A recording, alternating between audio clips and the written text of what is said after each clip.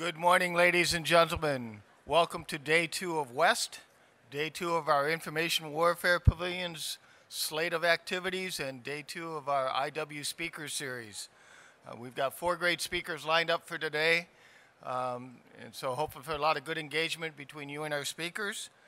And I'm delighted that the first one that's going to come up is our IBOS, the Information Warfare Community Lead. Vice Admiral Kelly Aeschbach, who is the Commander, Naval Information Forces, Information Warfare Forces. She's a graduate of GW University, came up through the ROTC program, a career intelligence officer. Her operational and, and staff assignments are far too many for me to read off to you in this amount of time we want to give her. Um, but uh, she's ready to, ready to talk to you about where our forces are headed and the biggest asset in our information warfare toolkit, our people. So, Admiral, over to you.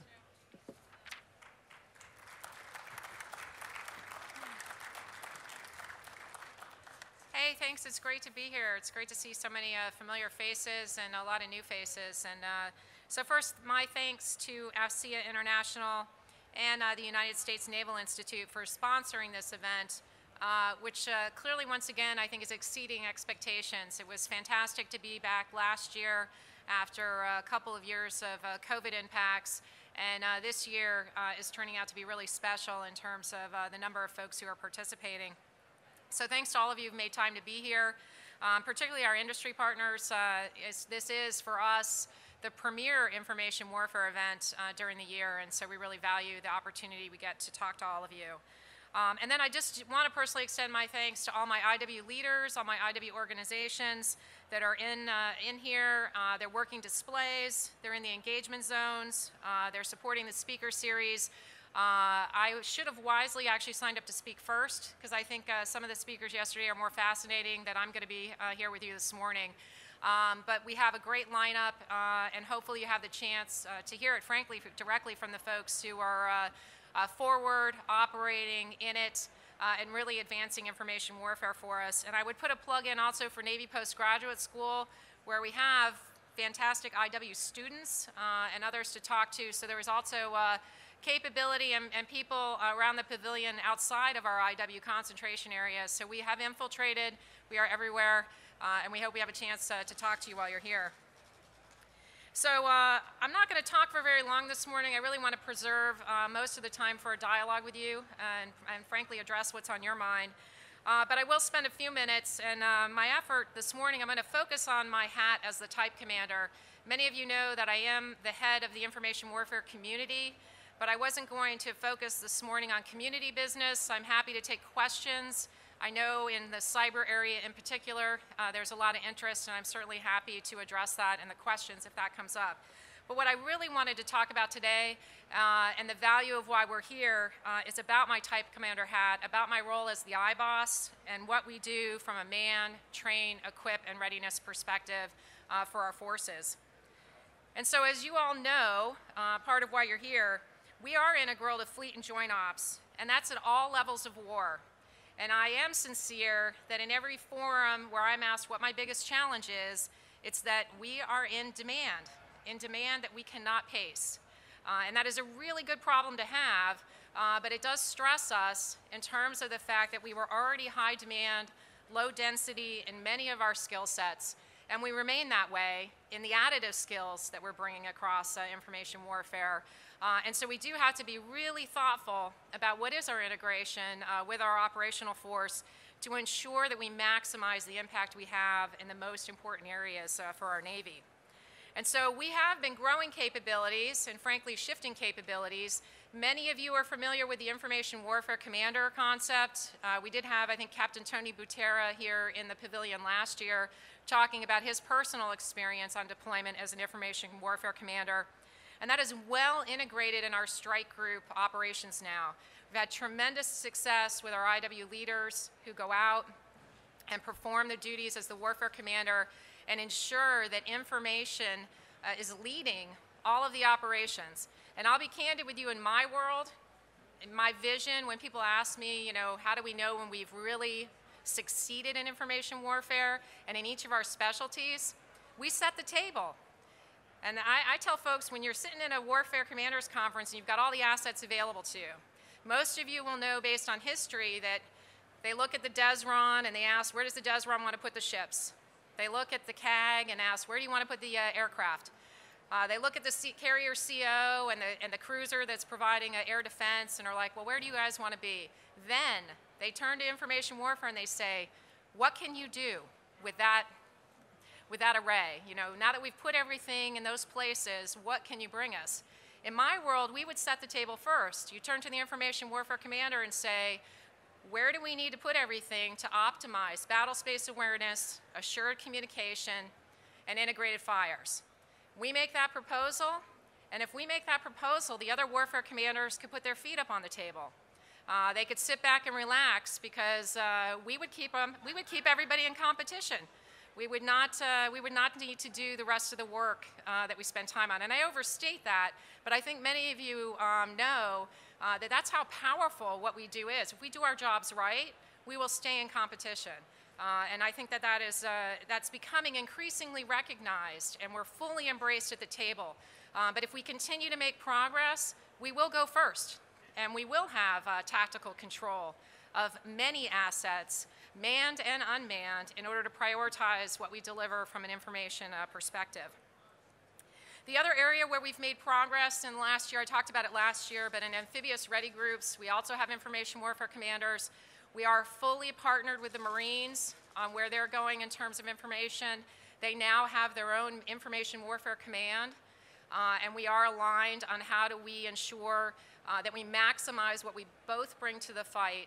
And we had really great success with the, uh, the recent uh, ARG deployment up in the Baltic, uh, where they really had an opportunity to exploit opportunity from an information perspective and demonstrate what, demonstrate what the combined Blue Navy team can do. So that was really powerful. On submarines, we've been piloting IW officers and IW sailors full-time on submarines. And I just uh, met with Admiral Houston last week to review our success on that pilot, where we have uh, two submarines that have uh, IW officers and three sailors, three IW sailors each.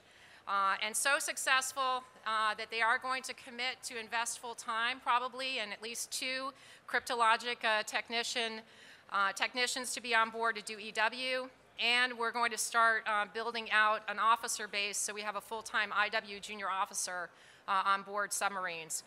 and so, really powerful, I think, and a recognition there of how complex the under undersea environment is. That we all benefit if we allow information warfare experts to come and do their job full time and support undersea experts who need to focus full time on operating their submarine uh, in a very competitive uh, environment. And then in terms of uh, aviation and airborne, we're partnered very closely with uh, the Airboss right now on Triton. And so we are moving out to understand what does information warfare wholeness look like when we do unmanned uh, at scale. Uh, and I would tell you we still have some work to do there, but a lot we're going to learn uh, about how we deliver that capability, and then how we do uh, processing, exploitation, and dissemination across a globally federated architecture of analysts, uh, which I think is really exciting. Uh, but we're going to have to work hard to make sure it's most effective and that, again, we prioritize against what's most important uh, for our fleet commanders. And then the big news, and I think uh, Admiral Mike Vernazza is today or tomorrow talking to you, uh, but the fleet uh, Information Warfare Command Pacific. Um, that was established a year ago and huge for us uh, in terms of how we move forward on the integration of information warfare at the operational level. Admiral Paparo mentioned it briefly yesterday during his uh, keynote during the lunch, but incredibly powerful in getting after his information warfare line of effort, which I remind people, if you've seen his campaign for the Pacific and his lines of effort, the IW line of effort it's a giant arrow that runs under everything else. None of the other pillars or lines of effort can succeed without it, which again demonstrates uh, how vital we are. But I also think that that work out there and the fact that Admiral Vernazza is dual-hatted as the Director for Maritime Information Warfare in the MOC is probably the most powerful aspect of the concept and is going to inform what we do at all the other numbered fleets uh, and MOC level in terms of IW integration, where we really need to commit to a construct so that the IBOS and the rest of IW can align in delivering the best capability. Uh, and we're on that path.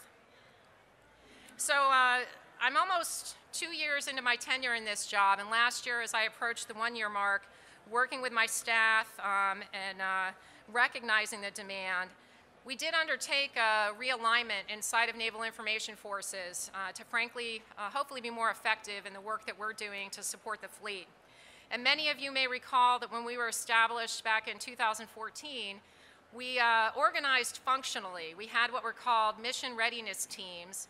Uh, and our initial concept was that we were very much focused on the operational shore commands, and we would organize by type of command. So we had an intel desk, we had a cyber desk, we had a comms desk, uh, weather desk, or ocean desk, and, uh, and that actually initially was somewhat effective for us. Um, but like many things that happen, at least have happened in my career, um, we weren't, uh, we weren't very effective at predict, predicting the trajectory uh, that we would be on uh, as an information warfare community.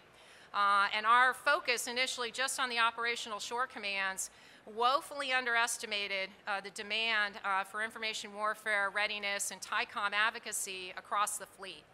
And so when we were established as a TYCOM, we didn't have the information warfare commander.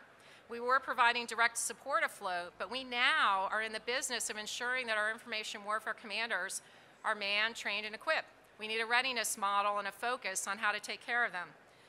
We also didn't anticipate the rise of the maritime operations centers and uh, in an awesome way, our NCTAMs and our NCTSs, the vital role they play in NC3 and in assured communications. And last year, OPNAV designated that group uh, as something called C3, which uh, essentially they've been designated as platform equivalent. And we're on a path with OPNAV and NAVWAR right now to build out permanent system sustainment, modernization, and planning modeled after all the great work we've done for years on platforms.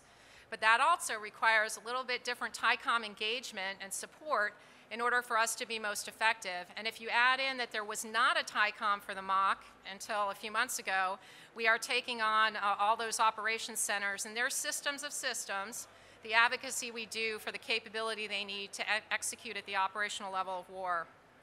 And then the last piece of it was we still had our shore commands, uh, which are doing exceptional work. Mission has grown. And we added the Cyber Mission Force. We didn't have the Cyber Mission Force when we established uh, the Type Command. And the Cyber Mission Force, I think, has surprised us uh, in the readiness demands. How do you do force generation for teams of people and sustain what's required uh, to prevail uh, and defeat on the net? Uh, and that is very demanding. And to Cyber Command's credit, they have established a very rigorous readiness model uh, and candidly, Navy was not keeping pace with it when I got into the job. And so we've had to lean in there on how uh, we come up with our own effective force generation model, uh, learning a lot from that and how that extends to the rest of the shore enterprise. Um, so as a result of that, we reorganized ourselves into three pillars. And we now, instead of these uh, mission readiness teams, I now have an information uh, warfare readiness directorate that I think Tammy North talked to you about yesterday. They have three pillars. They are focused afloat. They're focused ashore. Uh, and the shore piece is basically broken into the two pillars. One is these MOC uh, C3 commands, uh, and then the other one is all the rest of the shore and the cyber mission force. And then as I've, I've, mentioned to you, our mission keeps growing, so we've been wrestling with, well, where does Triton fit in that? You know, where do we put unmanned inside that portfolio? Uh, what do we do with space uh, while we're growing out space capability? Uh, and so I would anticipate that if we're a good staff and we are fully integrating the principles of get real, get better, uh, we will self-assess uh, that we're probably going to have to modify our construct again uh, to remain adaptive and agile and supporting uh, all the forces uh, that need our help. And then in terms of where we're focused on readiness, my highest priority has been on training. and that I do think um, we are not at our best in the training we're providing for our information warriors. Uh, we have a lot of good stuff in place, uh, but we do not move fast enough, nearly fast enough to pace all the capability we're delivering. Uh, our brick and mortar construct uh, has a lot of trouble keeping up with the agility with which uh, industry and others now are delivering fantastic uh, capabilities. And so we have had to lean in on how do we do better with training. One of the first moves I made last year was when I came into the job, Naval Information Forces still wasn't responsible for all of IW training. Uh, and our history was that IW training was delivered by the other type commanders uh, because we didn't have a NAVIFOR. And when we stood up, we took some of that training on board, but somehow we got stalled. And when I came on board, we still weren't doing intel training, we weren't doing comms training, and we have since fixed that alignment. So I think in a really powerful way now, my team is held accountable for the quality and the caliber of IW training that's delivered afloat. We also have a very powerful construct now with Ready Relevant Learning, where Admiral Cottle has clearly signaled that the TYCOM is the decider on requirements and changes to training down at CIWT. Uh, and so we've got a great relationship and partnership with them uh, that allows us to drive prioritization and hopefully more responsiveness in the nature of the training we need. And then the other area that we've been focused on is the advocacy for live virtual constructive training. And my team has partnered with NAVWAR over the last year. I think we did eight pilots where we're trying to bring IW capabilities into the live virtual constructive environment. We've made uh, some good progress there, but not surprisingly, there's significant engineering challenges in uh, adapting all of our existing capabilities and getting it plugged in to the live virtual environment and replicated in a way that you can train to it. We also have been trying to break down the classification barrier and move everybody, not just information warfare, but all the warfighting domains to a TS SCI level so we can really maximize uh, the uh, presentation of the threat and make everything much more realistic for everyone. So we're making good progress there, but I would tell you I'm, I'm not by nature a patient person. Um, and, uh, and, and we're not moving fast enough. Uh, and I do advocate every time I get a forum, and I think I drive uh, some of my bosses crazy with if you could spend one more dollar on live virtual constructive, you would spend it on information warfare because it's the one area where you generally cannot really train to the capability you think is going to keep you in competition, or is going to give you an edge if conflict uh, uh, erupts. Uh, and we guess on a lot of that right now, and, uh, and that's not a good thing. We might be right. We might actually be underestimating how powerful our effects could be. Uh, but my guess is in some areas we're probably wrong, uh, and we have more work to do to ensure that the capability is most effective or that the technique or tactic we've developed is the right one for employment of the capability. Uh, so we, uh, we are focused and leaning in uh, really hard uh, on that. Um, the other area that takes up a lot of my time, I mentioned the Cyber Mission Force. Uh, we are working hard there on lifting readiness, and, and really the most important takeaway from all of that is we have a force generation model for how you produce a team of people. Uh, and we are in the process of trying to make sure we move all the training, the foundational training to the left, so I know this shocks folks, but it, it, I had to learn, we had to learn through Cyber Mission Force that you actually need to train an individual to do their job before they show up to do their job. We were not doing that with the Cyber Mission Force. We were actually just sending people directly to the teams, and then we were doing on-the-job training or trying to send them the training after the fact, which is not a good model. And so we are looking to lift and shift all that training to the left so they show up most ready, and then we're working on how do you remain a part of a team and keep team proficiency and certification at a really high level. Uh, and, uh, and we're leaning into that now. We're using persistent uh, cyber uh, training environment uh, to help us support the disaggregated force that comprises the cyber mission force. And I think there's a lot of great lessons there that we're going to be able to apply um, to the rest of the commands in how we ensure that you get training before you arrive and then how we leverage um, architectures like PCTE uh, to deliver training on site uh, with agility uh, and in the most effective way. So you can actually train with your team. Uh, you get great individual training before you show up, and then you get uh, really powerful uh, integrated training once you're on site. So the, the last thing I, I want to highlight before I open for questions is, and this is a fair question we get every year when we come here, is folks here, you all want to know how you can help us. Uh, and I would tell you first, you're helping us by partnering with us. You're here. And partnerships, I mentioned our people. Partnerships are our other uh, competitive edge and are what are really valuable to us. And that's across industry, that's across coalition, that's across services, et cetera. And so, uh, so that's the first thing is just, yeah, buy in on the partnership and the teaming. Uh, please don't, please don't walk away uh, from an opportunity uh, to, to share what you have. Um, but where we, we need additional help, though, is I've mentioned the training piece. And my observation is that on any type of training we're talking about, particularly when we're delivering new capability, we miss the mark every time in thinking about what's required to train a sailor or an officer to be self sufficient on operations and maintenance. And we need help on that. The folks who build the equipment know it better than anybody else, and we owe a partnership in that on how we help build out the right curriculum, whether that's uh, uh, a computer-based training curriculum, whether that's a schoolhouse curriculum, uh, whatever that's going to be, we need to partner with you. But what's consistently happening is we get so focused on the acceleration of delivering the capability, we forget what's required um, to make the system whole. Uh, and we really need help in ensuring that you make us self-sufficient.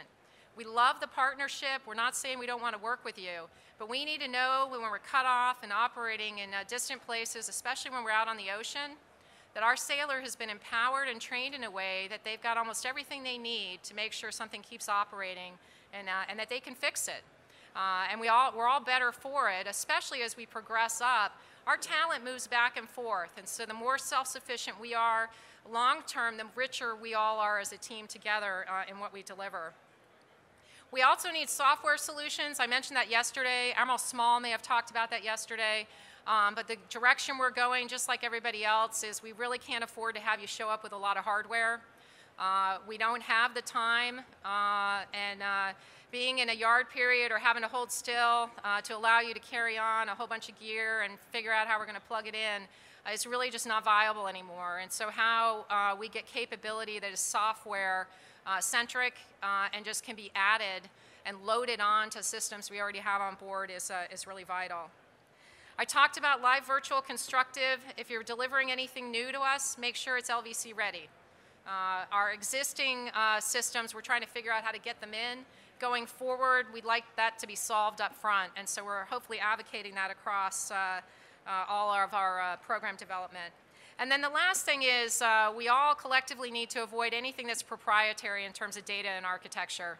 Uh, we have to be able to move stuff on the existing architecture, uh, and it's got to be, uh, the data's got to be agnostic in a way that it can flow over any of that architecture, that we can recognize it, store it, and it can be moved uh, between systems. Uh, and, and so um, our cooperative efforts on understanding the naval operational architecture, what Admiral Small is doing with Project Overmatch, the DevSecOps, all of that is really vital uh, to where we're going and our future success. Um, so again, I want to thank all of you for being here this morning and thank you for your respective roles uh, in advancing uh, information warfare. And I'm happy to take uh, any questions.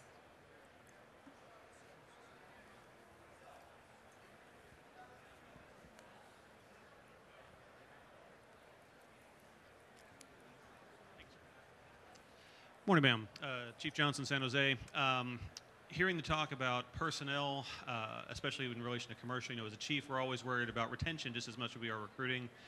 Uh, how are we looking right now as an information force? You know, we get sailors in, we get them, you know, trained up, qualified, and four years later they're out the door and heading off to a much larger salary out in, in the broader civilian community uh, with their top secret clearances, with all the certifications that we've given them. Uh, mm-hmm. how are we doing in that respect of, of keeping good people in and or recruiting new talent from across the board, whether it's going to be active, reserve, bringing them into where we want them to be?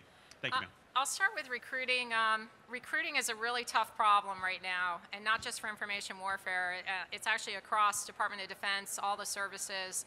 Um, and for information warfare within, within inside the Navy, uh, candidly, we are uh, behind goal on a couple of our ratings, and they are the te really technically demanding ones. So I am concerned, like for CTN, uh, where we need a network cyber capability, uh, that we're not pacing the requirement uh, like we, you know, in the way we would like to. We've got a lot in motion uh, with Big Navy on how we do outreach and try to promote interest in the Navy. Um, I personally think once we get you through the door, um, if we deliver on good training and we get you as efficiently as we can out to uh, be an operator in whatever rating we've hired you into or designator, um, I think we actually stand a decent chance of retaining you for a while. Our, our retention, um, there is some fragility in our retention, um, but uh, but it's not. We're not hemorrhaging people. Um, folks actually still find the work and the nature of what's going on in competition uh, really uh, rewarding. And, uh, and as I've discussed with folks, there are things the Navy does from a maritime perspective, particularly if you talk about our submarines. You can't get that experience anywhere else in the world. Uh, and so if we can get you to serve for 8, 10, 12 years, you know, whatever it is that we retain you for, uh, then that's a win. Um, I am concerned at our more senior ranks, 05, 06. We are seeing some pressure, particularly in cryptology and information professional right now, uh, where some folks are choosing to depart. Part of that is the fantastic job market right now, where you can yeah, you can get a very lucrative job of your choice. It's, I think, an employee's market kind of right now on you deciding where you want to go um, because the job market is uh, so open. But I also think, again, some of that's on us, though. I think um, I'm hopeful that the decision that we've made on cyber, how we're moving out, some uh, relief on the cryptologic uh, designator in terms of allowing them to focus more purely on traditional mission sets um, might alleviate um, some of the angst or the pressure I think that the force was feeling in terms of the demands. Uh, and that again, we're looking at uh, expanding the cryptologic training to 12 weeks. We're trying to do more, I think, to help folks uh, feel better enabled uh, so that uh, when we do ask them to work hard, that they feel like, you know, that they've gotten an investment in return uh, for, uh, uh, for how we're uh, grooming them. So I do think it's fragile, but I would tell you officially our retention data shows that we are pacing or outpacing the Na Navy average on retention right now. But, but I am mindful that, that, that you've got to be careful on that judgment because we literally match bodies to billet. And generally you want to have more people than you actually have jobs for if you want to be successful uh, long term. And then with our demand, yeah, every, every person on the field or on a ship counts. So, uh, so great question. Uh, morning, Admiral. Uh, Paul Ross-Bolt from Systems Planning and Analysis. Could you talk a little more about uh, what you're doing with international partners, and in particular, what the challenges are and how you overcome them? Okay. Uh, so we have a lot we're doing a lot of work through our Warfighting Development Center right now with our partners.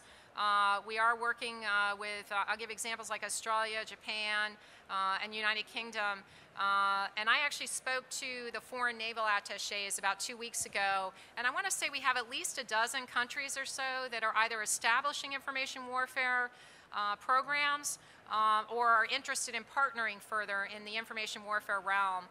And so we are leaning in there. We are um, focused when we develop concepts like the Information Warfare Command or uh, CONOPS. We have a releasable version of that that we have made available so that our partners can benefit um, from the tactics and techniques that we've developed.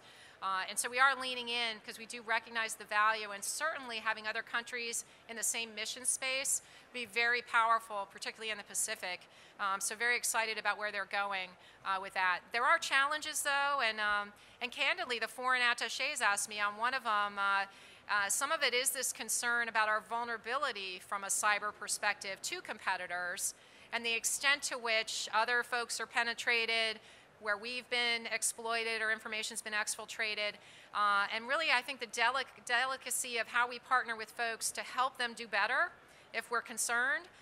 And I also encourage them how they're candid with us if they're concerned or have a perception that maybe we're not as secure uh, as we need to be based on how things are portrayed in the media, et cetera. And I think we've got really good bilateral processes right now for how we're trying to work through that with different countries and make our techniques and training available if they're interested. And so, uh, so I think there's a lot of promise across the board there.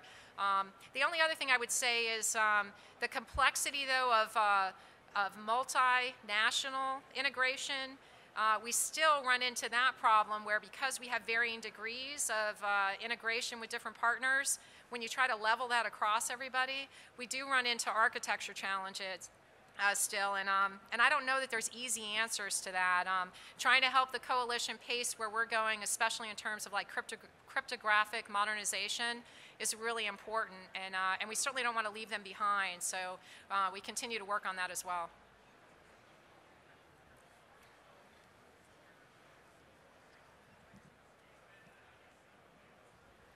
Good morning, ma'am. Everett Hayes from Leidos.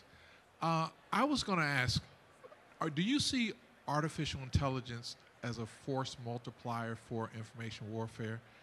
Do you see that as a, a way that you're going to be able to uh, possibly do more with less because of the proliferation of artificial intelligence in the commercial market?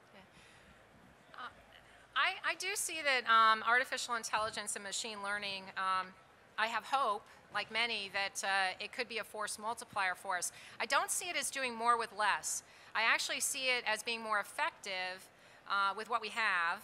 Uh, and that really, I was talking yesterday about the fact that if we get it right, we would free our people from mundane tasks. We could trust algorithms to do things right now where, you know, my background as an Intel officer, we spent a lot of time over the years like personally searching, you know, counting on an image, you know, how many ships and submarines are actually there.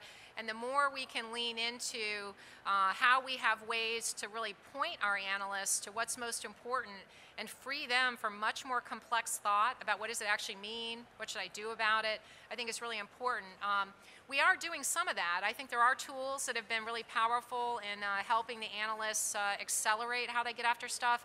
Uh, but I do think the larger scaling, though, of AI/ML, we haven't really delivered um, in a really powerful way yet. And, uh, and there's a lot in motion. Some of that, too, is our own trust in, in uh, the idea that up to a certain point, an algorithm will decide for you. And then what do you know about the algorithm? Does it, does it continually make the right decision?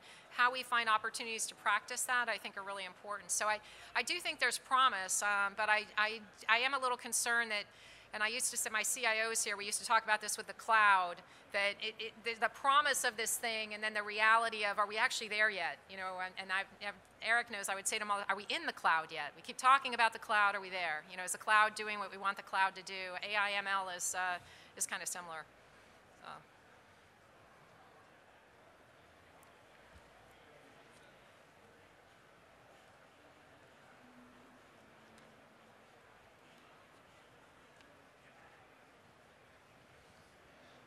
Dr. Josh Quivley from NIWC Pacific. Um, with information warfare being the newest of the warfighting domains, and because it's so new, it seems like there isn't a consensus on what exactly it is across the joint services. How would you define it? And is it important that we come to a common consensus on what it is to be able to work together?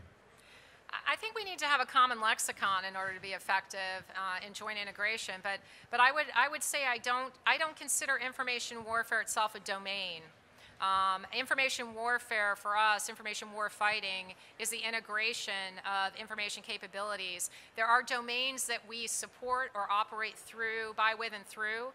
Um, but I don't consider information warfare itself a domain. So, you know, you got cyberspace, you know, uh, you're under the sea, on the water, you know, in the air. Um, but when, when folks say domain, I don't really, I, I, don't know that we're negotiating that with the joint force in terms of uh, what domain are we talking about. I do think that we are not all aligned on the full integration of all information related capabilities and the power that at least I think the Navy sees in how we do that. And even for us in the Navy, I would say that we still potentially have lessons we could learn from other services, where, for example, the Marine Corps integrates public affairs in their information approach. Uh, we have a very good relationship with the PAO, but we left that aspect out of our concept. So I do think we still need to continue to work with everyone on what's the right lexicon and how do we define what we're talking about so we're most effective in integration. I mean, Hi, ma'am. John Klein, Johnson Controls. Congratulations on the establishment of a, a training pipeline that, that is under your command. And I wonder if in that training pipeline you have OT, an OT curriculum to train your officers as they go and take command of maritime operations centers understanding the OT part of the network that is going to be organic to those MOCs? And is that an opportunity to have some maybe co-training with the Navy Civil Engineer Corps? Thank you, ma'am. Uh, I don't think we specifically have a OT focus yet, but I would agree with you that I think, um, like everything, we need to continue to look at, yeah, what more can we be doing, and especially at the operational level, uh, I think we are still trying to coalesce around uh, what are the what training and training requirements are we missing? How do we do better um, at the integrated level uh, for op the operational forces, also at the tactical, and then the bridging between the two. Uh, and we've learned lessons, I think, from every event that we've uh, we've done in terms of where we're going. So I think that's another one that will uh, will that hopefully someone on my team is writing down and we will take and, uh, uh, and look at. But I, we, I don't think we have anything, anything specific on that right now. Hi, ma'am. Major Kao, uh, Space Force. Um, question for you, kind of a follow on to that pipeline. Can you talk a little bit about the way ahead for Space uh, Force uh, related training, uh, specifically your maritime space officers? Yeah, we uh, established the Maritime Space Officer Designator last year, and we now have, I think, 45 Maritime Space Officers. We've, I think, done three rounds of selection, uh, and we have another one upcoming where we hope to select some more. We're, we uh, think we're going to have about 90 billets, and that's at the lieutenant commander to captain level. For us, MSO is a on ramp, you know, as a late lieutenant, early lieutenant commander. And we are going to be uh, rolling out uh, training curriculum uh, at NSSI. We partnered uh, uh, with them in Colorado Springs, where we will have a maritime space course uh, that most of our MSOs will go through. I think there'll be some judgment based on their background, experience, and the, the rank at which they come over. Uh, but the intent would be to send them through, and then the other services are actually going to participate in that course. So that will extend um, maritime awareness, maritime experience to Space Force itself, uh, the Marine Corps, other services. Uh, so I think we're on a good path there. I think it's an eight-week course is what we're piloting, and we're excited about that. Um, and then, yeah, certainly excited about where we are with MSO right now. Um, but congratulations on being a Space Force uh, person. That's awesome.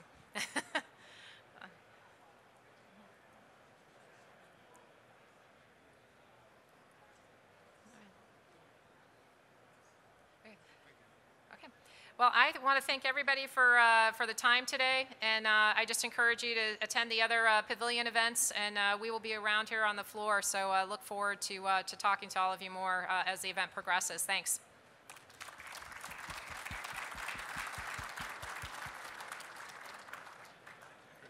Thank you, Admiral. We're going to reconvene at 11:15 for Admiral Perret. For our media colleagues that are going to have the media roundtable with Admiral Aeschbach, Josh is standing right there with his hand up. He'll get you in the right spot at the right time. Thank you.